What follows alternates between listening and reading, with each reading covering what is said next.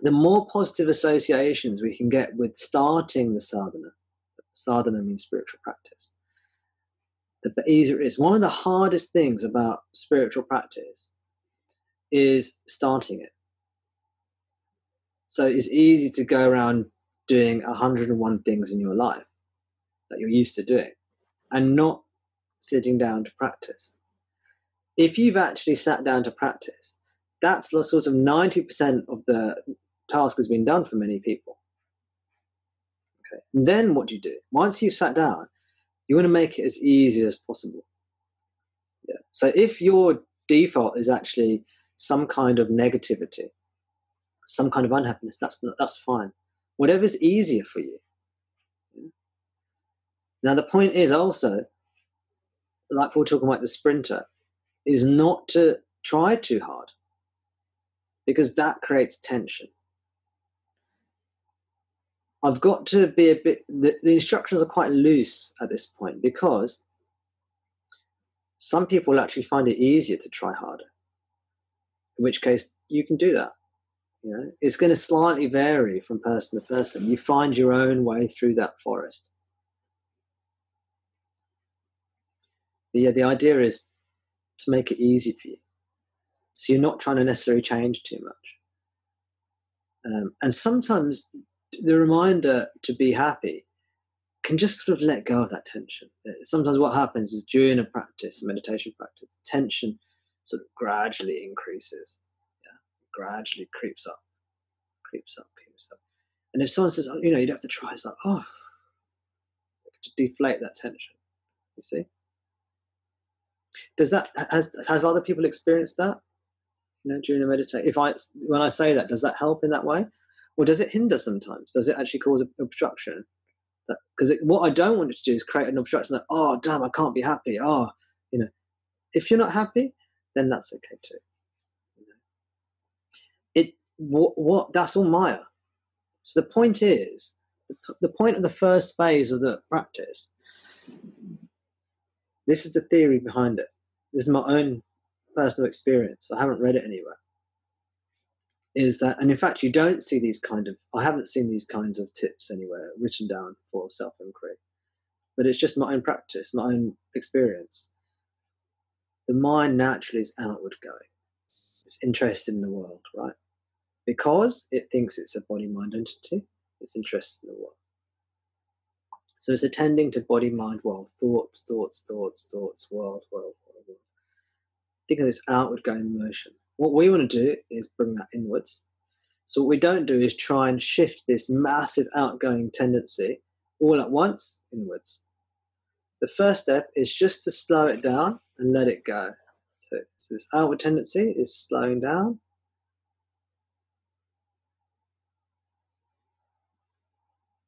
And it comes to a natural still point.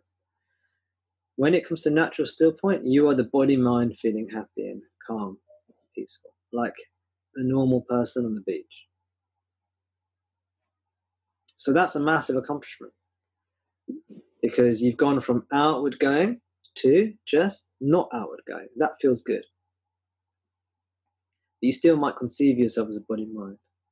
Then, when you're ready, as soon as you can, actually, we should say. When I say when you're ready, you don't want to put this stage off because that's just the, prelim- the the stopping the outward tendency is just the preliminary. It doesn't really matter you feeling good or bad so much. Then we go within and we're starting to ignore or not pay attention to or defocus on body, mind, world.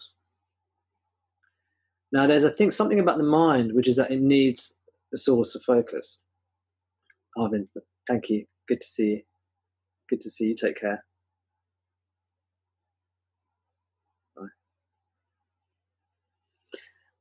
There's there's an aspect to the mind which needs something to focus on, and there's a there's a sort of um, little trick that well there's a there's a sort of analogy where if someone's told not to think of a pink elephant, all they can do is think of a pink elephant, right?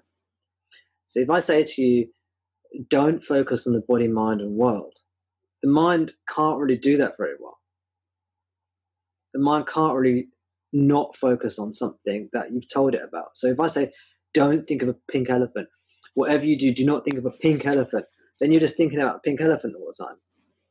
In the same way, it's very difficult not to focus on the body mind world.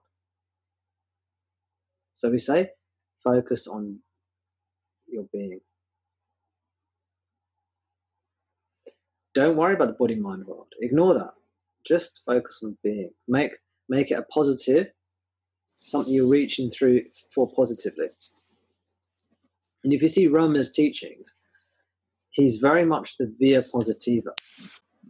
He doesn't do the negativa so much, via negativa so much, for that reason. You know, neti neti is not the predominant technique of Ramana's. Whereas the mind likes the neti neti stuff. You'll find most of the intellects like the neti neti stuff, not this, not that, via negativa. There's something about the positive approach which Ramana really likes. So you focus on that. And then whether you're happy, unhappy, it becomes in the background and eventually disappears.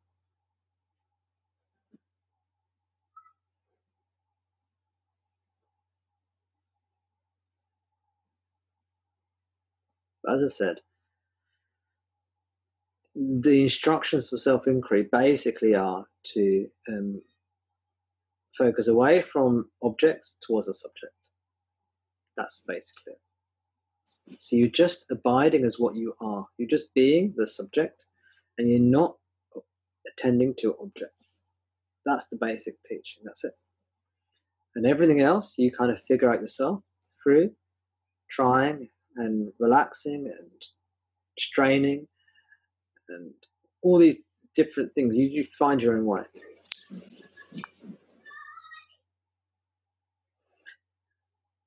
And because of my own disposition, my own personality type, you know, I maybe explain it one way, and maybe that would be great for you. Maybe you can come back to me at some point and say, actually, Tom, um, for me, I found something else helps me more, and then I'd love to hear what that is, and I'd love to understand that.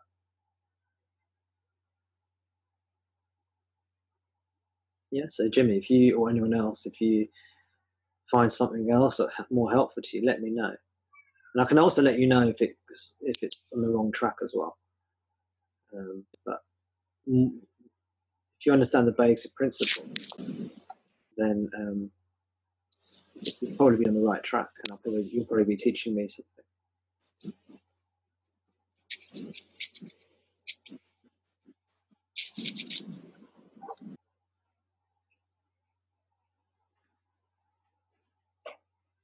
Just as in a dream, everything that appears is actually an illusion. And all there really is is that consciousness that you are. It's the same now.